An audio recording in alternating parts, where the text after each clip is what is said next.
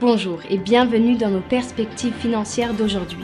Rejoignez-nous aujourd'hui pour notre analyse du monde financier, des derniers événements et des dernières informations sur les marchés. Thomas va nous aider aujourd'hui, depuis la salle des marchés. Deux groupes de pirates informatiques nord-coréens sont à l'origine du vol en juin de 100 millions de dollars d'actifs cryptographiques à Horizon Bridge, a déclaré le Federal Bureau of Investigation. La Corée du Sud prévoit de supprimer un certain nombre de réglementations sur le marché boursier local au cours de cette année afin de faciliter les investissements pour les investisseurs étrangers. Deux des plus grandes économies du monde ont évolué dans des directions opposées au début de l'année, les entreprises américaines signalant de nouvelles baisses d'activité en janvier. Les actions Amazon ont chuté de 2,6% lors de la dernière session selon l'indicateur Williams, nous sommes dans un marché suracheté.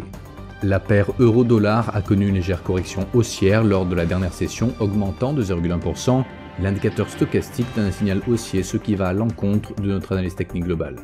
La dernière session a vu la livre sterling chuter de 0,3% par rapport au dollar. Le signal haussier de l'indicateur stochastique RSI contredit notre analyse technique globale.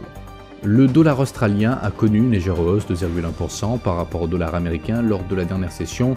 Selon l'indicateur CCI, nous sommes dans un marché suracheté. L'indice des prix à la production en Grande-Bretagne sera publié à 7h GMT, la variation EIA des stocks de pétrole brut aux États-Unis à 15h30 GMT, l'indice des prix à la consommation en Australie à minuit 30 GMT, l'évaluation actuelle IFO en Allemagne sera publiée à 9h GMT, l'indice économique avancé du Japon à 5h GMT, l'indice coïncident du Japon à 5h GMT. Nous espérons que vous avez apprécié nos perspectives du marché d'aujourd'hui.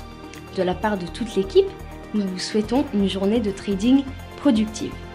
N'oubliez pas de nous rejoindre la prochaine fois pour toutes nos analyses des derniers événements et nouvelles sur les marchés financiers.